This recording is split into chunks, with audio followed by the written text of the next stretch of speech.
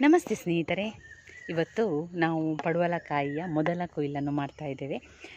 ಇವಾಗಲೇ ಮೊದಲು ಒಂದೇ ಒಂದು ಪಡುವಲಕಾಯಿ ಆಗಿತ್ತು. ಆದರೆ ಇವಾಗ ಒಂದು ನಾಲ್ಕರಷ್ಟು ಪಡವಲಕಾಯಿ ಇದೆ. ಹಾಗೆ ಈ ಪಡುವಲಕಾಯಿಯಿಂದ ಪಲ್ಯವನ್ನು ಕೂಡ ಮಾಡುವ ನಾವೇ ಬೆಳೆಸಿದಂಥ ತರಕಾರಿಯನ್ನು ಕೊಯ್ಯಲಿಕ್ಕೆ ತುಂಬಾ ಖುಷಿಯಾಗುವಂಥದ್ದು. ನಾವೇ ಬೆಳೆಸಿರುವಂಥ ತರಕಾರಿ ನಾವೇ ಅದನ್ನು ಅಡುಗೆ ಮಾಡಿದಾಗ ಅದರಲ್ಲಿ ಸಿಗುವಂಥ ಒಂದು ಖುಷಿ ಇದೆಯಲ್ಲ, ಅದು ಬೇರೆ ಯಾವುದರಲ್ಲಿ ಸಿಗೋದಿಲ್ಲ ಅಂತ ನನ್ನ ಒಂದು ಅನಿಸಿಕೆ. ತುಂಬಾ ಖುಷಿ ಆಗ್ತಾ ಇದೆ. ನೋಡಿ, ಈ ರೀತಿಯಾಗಿ ಸ್ವಲ್ಪ ಬೆಳೆದಿರುವಂಥ ಕಾಯಿಯನ್ನು ಇವತ್ತು ಕೊಯ್ಯುವ. ಇದೊಂದು ಸ್ವಲ್ಪ ಉದ್ದದ ಪಡವಲಕಾಯಿ ನೋಡಿ. ಚಿಕ್ಕದಲ್ಲ, ಸ್ವಲ್ಪ ಉದ್ದನೇ ಇದೆ. ಉದ್ದವಾದ ಪಡವಲಕಾಯಿಯನ್ನು ನೋಡ್ತಾ ಇದ್ದೀರಿ. ಒಂದು ಸ್ವಲ್ಪ ಈ ರೀತಿಯಾಗಿ ಸ್ವಲ್ಪ ದಪ್ಪ ಬಂದಂತಹ ಒಂದು ಪಡವಲಕಾಯಿಯನ್ನು ನಾವು ಕೊಯ್ದುಕೊಳ್ಳುವ. ಇದೊಂದು ಸ್ವಲ್ಪ ತೆಳ್ಳಗಿದೆ ನೋಡಿ. ಇದು ಒಂದು ಎರಡು ದಿವಸ ಹೋಗಬೇಕು ಈ ಪಡವಲಕಾಯಿಗೆ. ಹಾಗೆಯೇ ಇಲ್ಲೊಂದು ಇದು ಇದು ನೋಡಿ. ಇದೊಂದು ತುಂಬ ಚಿಕ್ಕ ಇರುವಂಥದ್ದು. ಇದು ಒಂದು ನಾಲ್ಕು ದಿವಸಗಳಷ್ಟು ಕಾಲ ಹೋಗಬೇಕು. ಇದು ಕೂಡ ನಾವು ಒಂದು ಎರಡು ದಿವಸ ಕಳೆದ್ರೆ ಸರಿ ಆಗ್ತದೆ ಇದಾದರೆ ನಮಗೆ ಸರಿಯಾಗಿರುವಂತಹ ಒಂದು ಪಡವಲಕಾಯಿ. ಇವಾಗ ನಾವು ಅದನ್ನು ತೆಗೆದುಕೊಳ್ಳುವ ಸ್ವಲ್ಪ ಮೇಲ್ಗಡೆಯಲ್ಲಿದೆ. ಈ ಪಡವಲಕಾಯಿಯನ್ನು ಬೇರೆ ಬೇರೆ ರೀತಿಯ ಒಂದು ಪದಾರ್ಥ ಇದರಲ್ಲಿ ಮಾಡಿಕೊಳ್ಬೋದು ಪಡವಲಕಾಯಿಯಲ್ಲಿ ಅನೇಕ ಆರೋಗ್ಯ ಪ್ರಯೋಜನಗಳು ಕೂಡ ಇದೆ. ಈ ಪಡವಲಕಾಯಿಯಿಂದ ಪಲ್ಯ ಬಿಂದಿ ಸಾಂಬಾರು ಈ ರೀತಿಯಾಗಿ ನಾನಾ ರೀತಿಯಲ್ಲಿ ಮಾಡ್ತಾರೆ.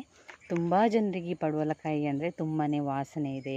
ಇದಕ್ಕೊಂದು ಒಂದು ಘಾಟು ಪರಿಮಳ ಇದೆ ಅಂತ ಎಲ್ಲರೂ ತುಂಬ ಜನ ಇಷ್ಟಪಡೋದಿಲ್ಲ. ಅಂದರೆ ಇನ್ನು ಕೆಲವರಂತೂ ಹಳ್ಳಿಗಳಲ್ಲಂತೂ ಈ ಪಡವಲಕಾಯಿ ಅಂದರೆ ತುಂಬಾ ಇಷ್ಟ. ಇದರಿಂದ ಇದರಲ್ಲಿ ಯಾವುದೇ ರೀತಿಯ ಅಸಿಡಿಟಿ ಎಲ್ಲ ಯಾವುದೇ ಪ್ರಾಬ್ಲಮ್ ಆಗೋದಿಲ್ಲ. ಗ್ಯಾಸ್ಟ್ರಿಕ್ ಎಲ್ಲ ಏನು ತೊಂದರೆ ಆಗೋದಿಲ್ಲ. ತುಂಬ ಚೆನ್ನಾಗಿರುವಂಥ ಒಂದು ತರಕಾರಿ. ನನಗಂತೂ ತುಂಬಾ ಇಷ್ಟ ಆಗಿರುವಂಥ ಒಂದು ತರಕಾರಿ ಅಂತ ಹೇಳ್ಬೋದು. ಹಾಗೆ ಇದು ಈ ಬಳ್ಳಿ ನಾನು ಕಳೆದ ವಿಡಿಯೋದಲ್ಲಿ ಹೇಳಿದ್ದೆ, ನನ್ನ ಪಡವಲಕಾಯಿ ಬಳ್ಳಿಗಳೆಲ್ಲ ಹಳದಿ ಬಣ್ಣಕ್ಕೆ ತಿರುಗಿದೆ ಅಂತ. ಆದರೆ ಇವಾಗ ಒಂದು ಸ್ವಲ್ಪ ಸರಿಯಾಗ್ತಾ ಇದೆ. ಯಾಕಂದರೆ ನಾವು ಅದಕ್ಕೆ ಮಜ್ಜಿಗೆ ನೀರಿದೆಯಲ್ಲ ಅದನ್ನು ತೆಳ್ಳಗೆ ಮಾಡಿಕೊಂಡು ಆ ಮಜ್ಜಿಗೆ ನೀರನ್ನು ಹಾಕಿದ್ದೇವೆ. ಹಾಗೆ ಸ್ವಲ್ಪ ಅದು ಸರಿಯಾಗ್ತಾನೇ ಇದೆ. ಈ ತುಂಬಾ ಎಲ್ಲೋ ಕಲರ್ ಬಂದಿರುವಂಥ ಎಲೆಗಳೆಲ್ಲ ಸ್ವಲ್ಪ ಸ್ವಲ್ಪ ಸರಿಯಾಗ್ತಾ ಇದೆ. ನೋಡಿ, ಒಂದು ಸ್ವಲ್ಪ ಸರಿಯಾಗ್ತಾ ಇದೆ. ಈಗ ಸರಿಯಾಗ್ಬೋದು ಹಾಗೆ ವಾರಕ್ಕೆ ಒಮ್ಮೆ ಆದರೂ ಕೂಡ ಈ ರೀತಿಯಾಗಿ ಮಜ್ಜಿಗೆ ನೀರನ್ನು ತೆಳ್ಳಗೆ ಮಾಡ್ಕೊಂಡು ಹಾಕಿದರೆ ಆ ರೀತಿಯ ಕೆಲವೊಂದು ರೋಗಗಳಿಂದ ಮುಕ್ತಿ ಸಿಗ್ತದೆ.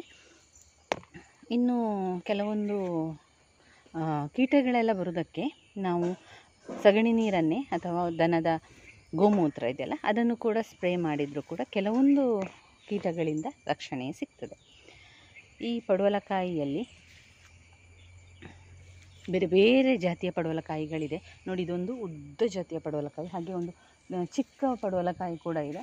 ಇನ್ನು ಇದೊಂದು ನೋಡಿ, ಇದು ಸ, ಗ್ರೀನ್ ಕಲರ್, ಹಸೂರು ಬಣ್ಣದ ಪಡವಲಕಾಯಿ. ಇದು ತುಂಬಾ ಬಿಳಿ ಬಣ್ಣದ ಪಡವಲಕಾಯಿ ನೋಡಿ.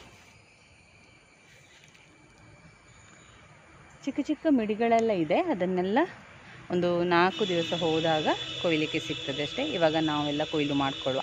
ಒಂದು ನಾಲ್ಕರಿಂದ ಐದರಷ್ಟಾದರೂ ನಮಗೆ ಪಲ್ಯಕ್ಕೆ ಬೇಕಾಗ್ತದೆ. ಎಷ್ಟು ಸಿಗ್ತದೆ ಅಂತ ನೋಡುವ.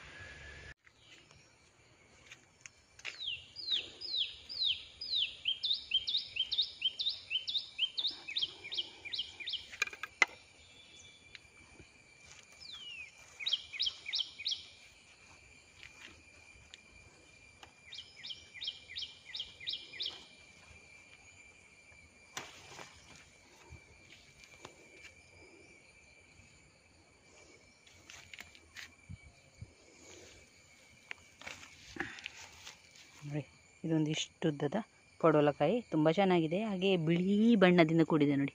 ಶ್ವೇತವರ್ಣದ ಪಡುವಲ.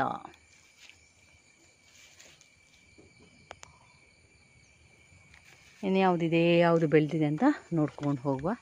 ಇದು ಸ್ವಲ್ಪ ಚಿಕ್ಕದಿದೆ.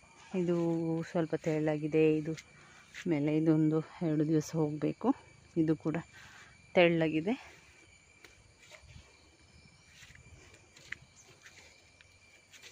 ಇಲ್ಲೊಂದು ಸ್ವಲ್ಪ ದಪ್ಪ ಆಗಿರುವಂಥದ್ದಿದೆ ನೋಡಿ.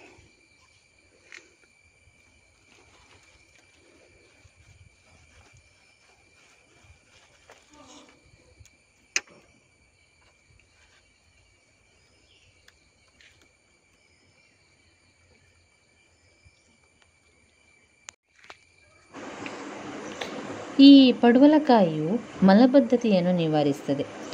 ಇದು ತುಂಬಾ ಉತ್ತಮ ಚಿಕಿತ್ಸೆ ಅಂತ ಹೇಳ್ಬೋದು ಮಲಬದ್ಧತೆಗೆ. ಆಮೇಲೆ ನಿಮಗೆ ಈಗ ಕೆಲವು ತರಕಾರಿಗಳನ್ನು ತಿಂದರೆ ಗ್ಯಾಸ್ಟ್ರಿಕ್ ಆಗ್ತದೆ ಎಸಿಡಿಟಿ ಆಗ್ತದೆ. ಈಗ ನೀವು ಆಲೂಗಡ್ಡೆ ತಿಂದರೆ ಕೆಲವರಿಗೆ ಹೊಟ್ಟೆ ಭಾರ ಆಗ್ತದೆ, ಹೊಟ್ಟೆ ಉಬ್ಬರ ಆಗ್ತದೆ ಅಂತ ಹೇಳ್ತೀರಲ್ವ?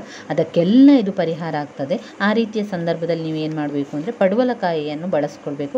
ಪಡವಲಕಾಯಿಯನ್ನು ಹೆಚ್ಚು ನೀವು ಸೇವಿಸಿದರೆ ಈ ಗ್ಯಾಸ್ಟ್ರಿಕ್ ಸಮಸ್ಯೆ ಅಸಿಡಿಟಿ ಆಗುವಂಥದ್ದು, ಹೊಟ್ಟೆ ಭಾರ ಆಗಿರುವಂಥದ್ದು, ಹೊಟ್ಟೆ ಉಬ್, ಉಬ್ಬರಲ್ಲ, ಉಬ್ಬರಿಸ್ತದಲ್ವ?